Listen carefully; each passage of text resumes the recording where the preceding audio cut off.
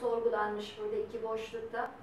Araştırmacıların iyi haberler verdiğinden bahsediyor. Üç kanser, kanser hastasının ikisinin ya tamamen iyileşeceği ya da hastalıkla 5 yıl veya daha fazla yaşayabileceği söylenmiş. Yani iki seçenek sunuluyor.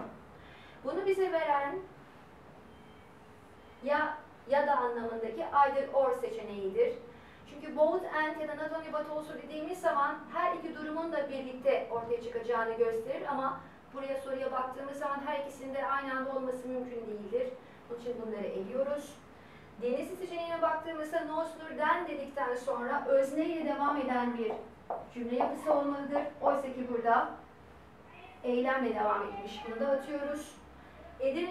Baktığımızda ise anlamca ne tamamen iyileşmesine sebep olacak ne de ömrünü uzatacak. Öyleyse bu bir iyi haber olamaz. Bunu da anlamca çıkarmış oluyoruz.